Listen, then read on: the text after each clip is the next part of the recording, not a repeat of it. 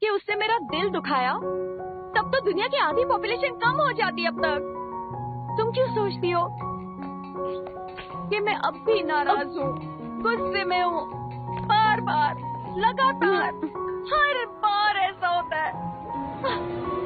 इसकी वजह से। मानना मुश्किल है, लेकिन ये हमारी फैमिली मोटो है। हमारे परिवार के लोग